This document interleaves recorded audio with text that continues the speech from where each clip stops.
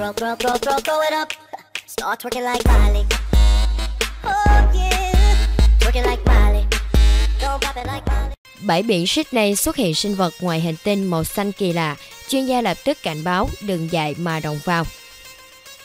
Nhiều người còn bảo loài sinh vật này trông không giống của trái đất mà đến từ hành tinh khác. Dù có tới 70% bề mặt trái đất là nước, nhưng đại dương sâu thẳm vẫn còn ẩn chứa vô vàn những điều bí ẩn mà chúng ta chưa khám phá ra. Đặc biệt là những loài sinh vật lạ.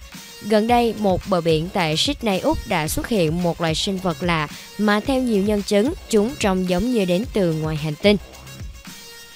Trên thực tế, loài sinh vật này có tên khoa học là Glaucus Atlanticus hay còn được gọi là rồng xanh hoặc thiên thần xanh. Chúng có vẻ ngoài khá giống như thần biển Glaucus trong thần thoại Hy Lạp. Rồng xanh thường sống dưới nước hoặc lẫn trong cát. Chúng ít xuất hiện trên bờ và dưới ánh nắng mặt trời. Nhưng thời gian gần đây, sự xuất hiện đông đảo của chúng trên các bờ biển Sydney đã gây tò mò cho người dân địa phương và khách du lịch. Tuy có vẻ ngoài xinh đẹp như thiên thần, nhưng loài sinh vật này lại mang trong mình một loại chất độc sẵn sàng tiết ra để giết chết kẻ thù. Khi trưởng thành, một con rồng xanh chỉ có kích thước khoảng 3 cm. Khi chúng bị trôi dạt vào bờ, các chuyên gia sinh học đã cảnh báo người dân và khách du lịch không nên tiếp xúc bằng tay không với chúng vì chất độc của chúng có thể gây nguy hiểm và thậm chí là tử vong. Chính vì vậy, nếu muốn quan sát loài sinh vật này, tốt hơn hết hãy dùng găng tay, xô chậu và những dụng cụ cần thiết để đựng chúng.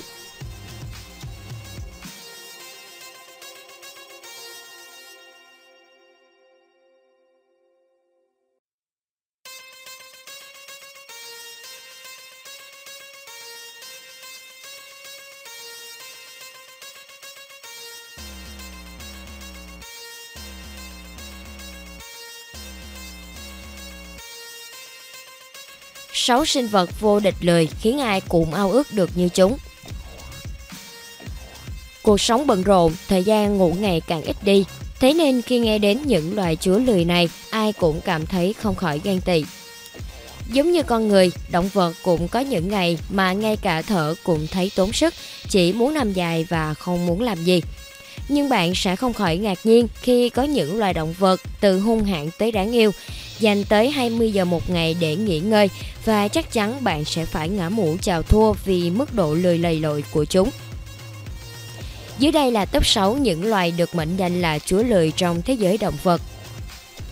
1. cola cola là loài gấu nhỏ nhất trên thế giới, chỉ có khối lượng khoảng từ 4 đến 15 kg. Chúng sinh sống rất nhiều ở Úc và được xem là một trong những sinh vật lười bực nhất trên thế giới. Khi mới sinh, loài gấu này bú sữa mẹ và sống trong túi mẹ tới tận 6 tháng. Sau đó chúng cai sữa và được mẹ dẫn đi kiếm thức ăn. Koala lười đến nỗi không tự di chuyển được, chỉ bám trên lưng mẹ.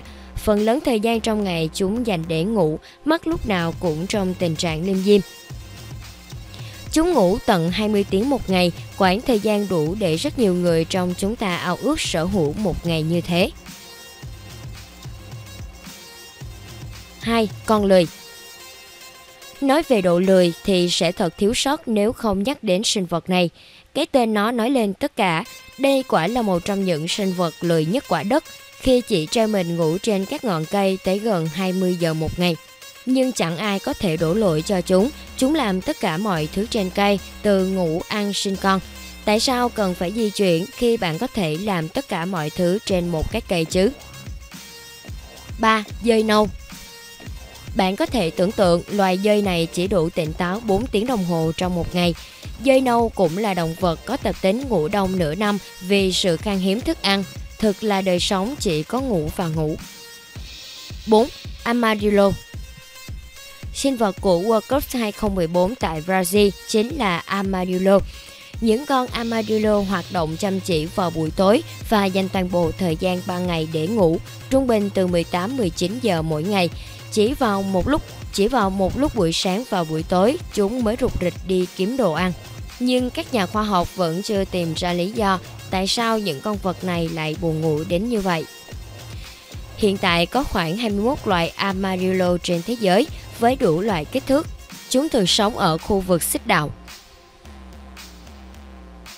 5. Vượn cáo Vượn cáo là một nhánh động vật linh trưởng đặc hữu của Madagascar, tổng cộng có 100 loài còn tồn tại. Ban ngày, các con vượn cáo thích đi kiếm ăn độc lập, tuy nhiên vào ban đêm chúng thường ngủ theo đàn và thường cụm lại với nhau. Chúng dành 2 phần 3 ngày tương đương với 16 giờ đồng hồ mỗi ngày để ngủ bên nhau. 6. Sóc Sóc là một họ lớn trong bộ gặm nhấm Rodentia, bao gồm sóc cây, sóc đất, sóc chuột, Marmot bao gồm cả Marmot châu Mỹ và sóc bay. Sóc thích ngủ về chế độ ăn uống của chúng rất giàu carbon hydrate, protein và chất béo. Những sinh vật này thường ngủ trong tổ làm từ cành cây và lá với đầy lông thú, lông vũ hoặc các vật liệu mềm khác mà chúng nhặt từ mặt đất. Chúng dành 14 giờ một ngày chỉ để ngủ.